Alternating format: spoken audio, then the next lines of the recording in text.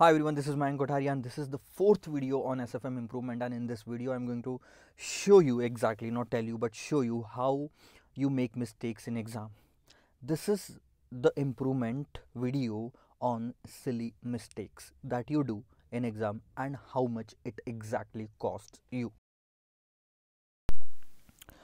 तो आप देख रहे हैं आपके सामने एक स्क्रीन है मेरे पास में काफ़ी सारे सजेस्टेड आंसर्स है बच्चों से मंगवाए हुए मैं आपको एक कॉपी दिखाता हूँ सजेस्टेड आंसर की और एग्जांपल के तौर पे बताता हूँ एग्जैक्टली क्या हो रहा है ठीक है? दिस इज़ सजेस्टेड कॉपी आप देख सकते हैं आ, इनको कितने मार्क्स आए? फिफ्टी नाइन और ये अटक गए ग्रुप वन में और इस पेपर में भी। एक मार्क और बढ़ जाता और एटलीस्ट एस की पार हो जाती ठीक है? क्या गड़बड़ हुई? अब मैं आपको बताता हूँ ठीक है? मैंने पूरा पेपर एनालाइज किया है। काफ़ी जगह पे उन्होंने बहुत अच्छे तरीके से सॉल्व किया no doubt about it but यहाँ पे एक सिली मिस्टेक की है जिनसे इनके चार मार्क्स कटें कैलकुलेशन देखो। ये है नवंबर सेवनटीन का आ, पेपर और जो लीजिंग पे क्वेश्चन था उस पर उन्होंने कुछ कैलकुलेशन किए यहाँ पे। ध्यान से अगर आप देखोगे तो मैं आपको दिखाता हूँ यहाँ पे। हाईलाइट करके कि ये वाली जो रो है, ये वाली जो रो है, ये वाली, ठीक है? इस रो में आपको फिगर दिख रही होगी three point three three X plus one zero two four two four three minus sixty lakh ठीक है? उनकी नेक्स्ट स्टेप देखो क्या है। एक्स की वैल्यू उन्होंने डायरेक्ट निकाल ली और वो आ रही है two one zero nine three eight two जो कि गलत फिगर है। अब वो गलत कैसे आई है मैं आपको बताता हूँ। आपको उसके पहले वाले स्टेप में one zero two four two four three और सिक्सटी लैक्स की वैल्यू दिख रही है। आप कैसे सॉल्व करोगे? आप सिक्सटी लैक्स में से one zero two four two four three minus कर दोगे, क्योंकि सिक्सटी लैक्स की माइनस साइन दिया हुआ है और one zero two four two four three को प्लस साइन दिया हुआ है। माइनस कर दोगे, जो नेट फिगर आएगी, उसको थ्री पॉइंट थ्री एक्स से डिवाइड कर दोगे और आपका फाइनल आंसर आएगा। लेकिन इन्होंने ऐसा नहीं किया। इन्होंने क्या किया? ये जो फिगर है दस लाख की और ये जो फिगर है साठ लाख की, इसको टोटल मिला के इन्होंने बना दिया सत्तर लाख चौबीस हज़ार दो सौ तैयलीस और फिर उसको डिवाइड किया three point three three X से मतलब थ्री पॉइंट थ्री थ्री से और उसके बाद ये फिगर आई two one zero nine three eight two जबकि एक्चुअल फिगर होनी चाहिए साठ में से जब आप दस माइनस करते हो तो तकरीबन कुछ forty nine point seventy six lakhs rupees बचते हैं और उसको आप डिवाइड करोगे थ्री पॉइंट थ्री थ्री से तो कुछ अठारह लाख के आसपास या सत्रह लाख के आसपास आपकी फिगर आती है। वो करेक्ट आंसर था। इन्होंने पूरा क्वेश्चन सॉल्व किया, इनको पूरा चार मार्क्स मिले हैं, लेकिन उन्होंने एक प्लस और माइनस के डिफरेंस को जो यहाँ पे उनकी तरफ़ से गलती हुई है, उसकी वजह से चार मार्क्स कट गए। Can you just believe it कि एक प्लस माइनस की वजह से उनका पूरा पेपर एग्ज़ाम होते होते बच गया। एक पेपर पूरा नहीं पढ़ना पड़ता, पूरे के पूरे तेरह चैप्टर उनको पढ़ने पड़ेंगे ओल्ड सिलेबस के हिसाब से। हर चीज़ वापस पढ़नी पड़ेंगी, सिर्फ़ किस वजह से? प्लस माइनस का कैलकुलेशन गलत कर दिया। अदरवाइज़ पूरा क्वेश्चन इनका पूरा क्वेश्चन सही था। आपकी गलती यहाँ हुई और उसकी वजह से बाद में गलती सारी की सारी यहाँ पे भी हुई। तो उस भाई साहब ने सिर्फ़ चार ही मार्क्स दिया आठ में से इंस्टीट्यूट ने। और यहाँ पे आपकी गलती हो गई। अच्छा फॉर योर काइंड इन्फॉर्मेशन मैं आपको ये भी बता देता हूँ कि पूरा पेपर प्रॉपरली चेक किया गया है। कहीं पे भी मेरे को ये नहीं लगा कि एक भी मार्क ज़्यादा देने चाहिए थे। प्रॉपर था। तो वैल्यूएशन इस पेपर का तो भी एटलीस्ट सही था।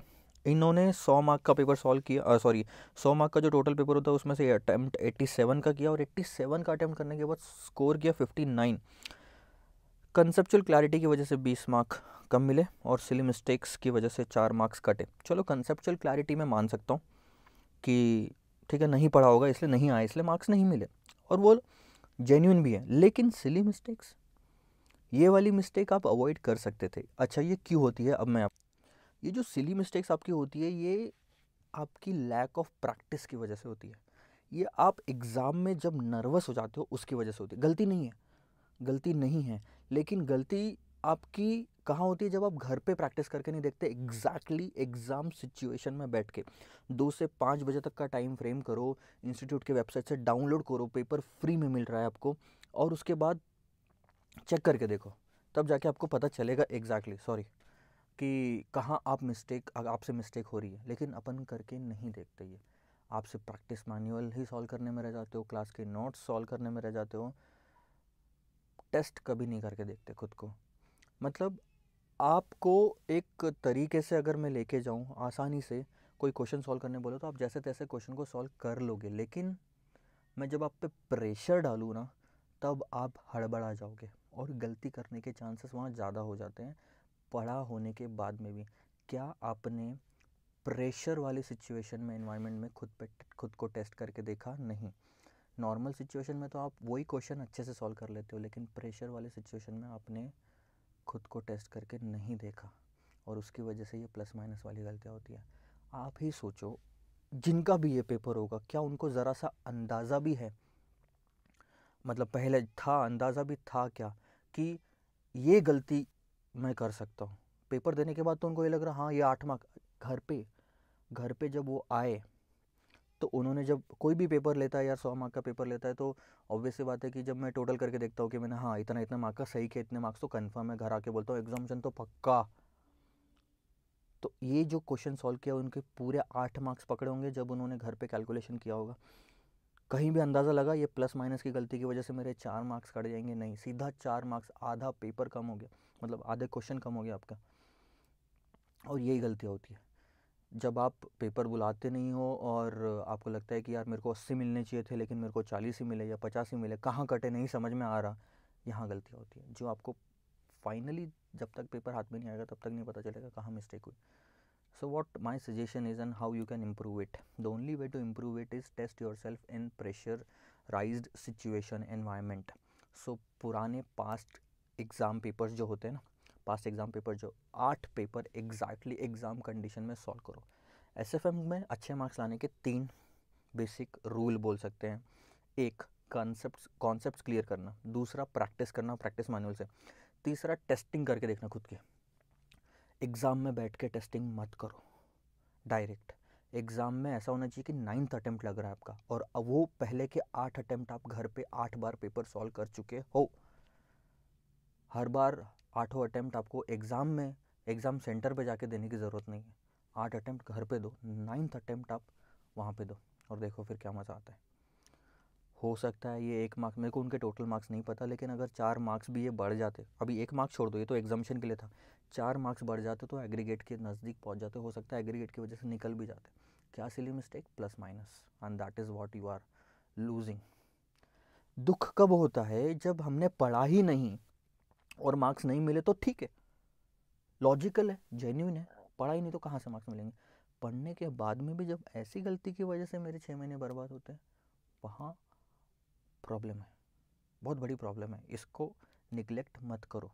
आप ही सोचो जब एक लाख बच्चे इंडिया में पेपर तैयारी कर रहे हैं 95 percent of the students are reading some reference book class notes practice manual I T P mock test paper क्या क्या नहीं। आपको सीरियसली लगता है दो से पाँच बजे तक का टाइम सेट करके आठ आठ पेपर कोई सॉल्व करता होगा? अरे, मैं अगर तीन रिवीजन सेट कर रहा हूँ मेरे लिए तो थर्ड रिवीजन में सिर्फ़ यही होना चाहिए, मॉक टेस्ट पेपर सॉल्व करना चाहिए। छोड़ दो आप, अपनी किताबें छोड़ दो थर्ड रिवीजन में। इंडा मतलब इनडायरेक्ट स्टडी करो, ऐसे मत जाओ, अब ऐसे जाओ। पहले पेपर सॉल्व किया, गलतियाँ पता चली, फिर कॉन्सेप्ट वाली बुक में देखा कि उसका रीज़न क्या था। ये इस तरीके से जाओगे ना, मैं लिटरली बता रहा हूँ, आपको इम्प्रूवमेंट नज़र आएगा इस बार। तो please make sure that you are solving the past exam papers and you are avoiding such kind of mistakes I have solve like मैं रोज़ एक सजेस्टेड आंसर की कॉपी जो है चेक करता हूँ और भेजता हूँ बच्चों को। तो 90% of the mistakes are due to conceptual clarity lack of practice and these kind of silly mistakes. So, conceptual clarity is genuine कि आप और पढ़ो और पास हो जाओगे, लेकिन जो सिली मिस्टेक्स है, ये कितना भी पढ़ने से अवॉइड नहीं की जा सकती। So focus on this also ये भी एक पार्ट है आपके पास होने में जो मदद कर सकता है तो निगलेक्ट मत करो इस चीज़ को and focus on it so this the fourth video and in fifth video I will be coming up with some good thing for your improvements on S F M bye bye